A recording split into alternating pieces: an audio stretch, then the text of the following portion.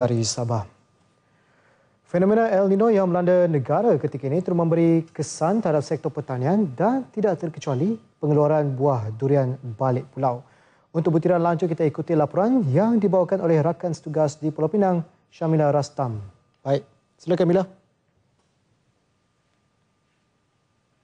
Terima kasih Kamal Firman Shah di Angka Sepudi. Assalamualaikum dan salam sejahtera. Ladang durian Bosheng antara pengeluar terkenal durian balik pulau. Bagaimanapun pemilik dan pengusahanya Chang Tek Sheng mengakui El Nino memberi kesan kepada kualiti durian dan tumbuh saran pokok sehingga menyebabkan perniagaan merosot hingga 40%. Ini kerana kualiti durian yang rendah akan mempengaruhi harga raja buah tidak kira jenis durian. Walaupun jumlah pengeluaran mungkin terjejas, namun buat peminat Raja Durian, mereka dapat menikmati keenakan buah tersebut dalam tempoh yang lebih panjang berbanding musim sebelumnya. Dijangka bermula Mei ini, durian balik pulau akan mula luruh sehingga Julai. Lulu, lulu dia selalu satu bulan. Ah, satu bulan dia dia dua dia keluar bunga, lepas dia punya buah jatuh lebih kurang satu bulan, satu bulan setengah. Dia tak boleh jadi tiga bulan. Hmm. Kerana dia punya air tak cukup punya pasai. So this year dia akan jadi tiga bulan. So ini farm ni kita punya tanah kerana organik punya pasai. So when organic dia itu aninomai punya jama, dia tak payah banyak air. So dia kurang sikit dia boleh tahan. So dia boleh tahan dia itu pokok. Jadi ini macamnya dua tiga kali punya bunga. Hmm. Pokok besar punya buah pun ada, pokok kecil punya pun ada. Itu macam. Sejak cuaca panas bermula Januari lalu, Chang menyiram pokok durian menggunakan sistem pengairan renjes setiap dua jam sekali. Pengalaman menjaga tanaman durian secara organik di ladang seluas tujuh hektar ini sejak puluhan tahun lalu membolehkan Chang menangani sebarang masalah cuaca dan mengurangkan kadar kerugian. Ladang ini tidak menggunakan sebarang racun serangga. Sebaliknya, digantikan dengan baja organik seperti batang pisang, buah dan batang kayu yang sudah rosak serta reput. Selain itu, pencahayaan yang mencukupi mampu mengekang serangan kulat dan penyakit pokok. Terdapat 300 pokok durian di ladang ini, antaranya termasuk durian holor, kunpong angbak, angbak di 604 dan musang king. Malah menjelang Mei, ladang durian Bosheng bakal penuh dikunjungi peminat durian yang bercuti sambil menikmati pemandangan hijau dari atas bukit. Dalam pada itu, sejak minggu lalu, Pekan Balik Pulau dibanjiri longgokan buah durian yang dipercayai datang dari negara jiran. Pemilik dusun durian di pekan ini bimbang pelanggan tertipu dengan penjual yang mendakwa durian berkenaan adalah durian tempatan. Pemilik kebun durian Arif Mat Jam mendakwa setiap minggu ada saja bekalan durian yang sampai dari negara jiran ke pekan ini.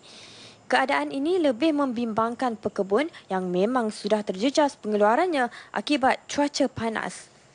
Mana dapati uh, derayan di balik pulau buat benda sekarang ni tak banyak uh, yang ada yang luh.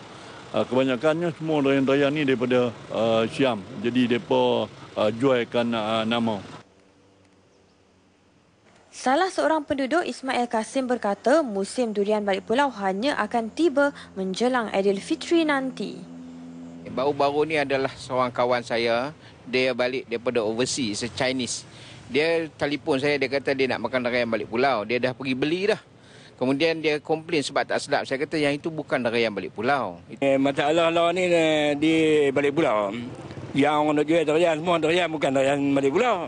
Semua darayan luar. Jadi merosak nama balik pulau lah.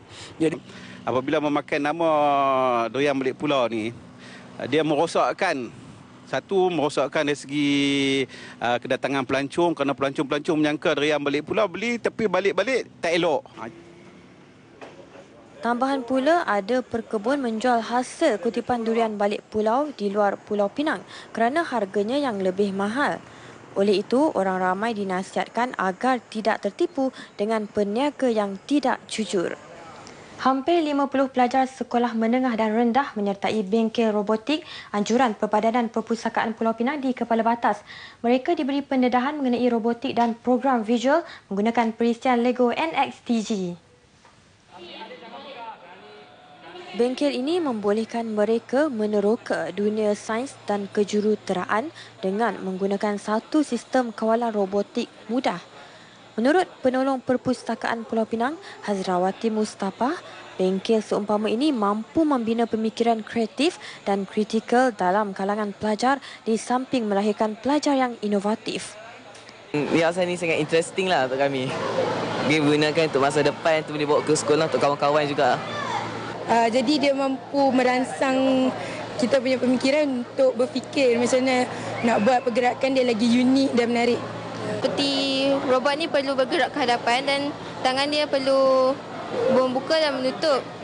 Uh, seterusnya kami akan kami membuat pergerakan yang tersendiri dan kami perlu berfikir secara kreatif untuk membuat pergerakan tersebut. Bengkel robotik ini yang merupakan acara tahunan bakal diadakan di Bertam, Balik Pulau, Seberang Jaya, Jawi dan Georgetown. Sekian dahulu laporan dari Pulau Mutiara kembali kepada Kamal Firman Syah di Angkasa Puri untuk berita seterusnya. Assalamualaikum dan salam sejahtera.